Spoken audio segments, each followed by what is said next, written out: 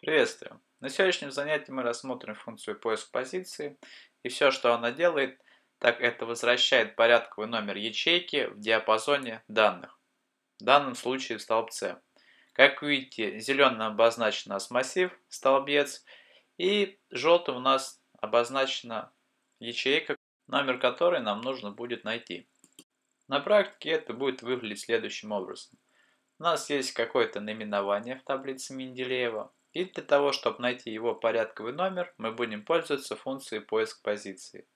Ставим искомую ячейку, выделяем диапазон данных, Ctrl-Shift вниз, зажимаем F4, фиксируем диапазон и ставим тип соответствия 0.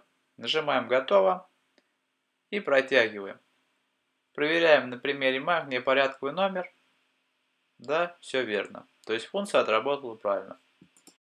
Второй способ написания этой функции – это нахождение порядкового номера в строке. В данном случае у нас зеленым выделена строка, в которой нам нужно будет найти номер желтой ячейки.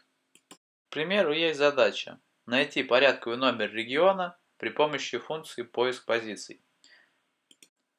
Для этого вводим функцию поиск позиции, указываем значение, которое мы хотели найти, выделяем диапазон данных, Ctrl-Shift вправо и указываем тип соответствия 0, точное соответствие. И получаем данные. Вот у нас получились данные и давайте проверим. Номер 6, да, это действительно Республика Ингушетия. С вами был Полянский Алексей. Всего вам доброго. До свидания.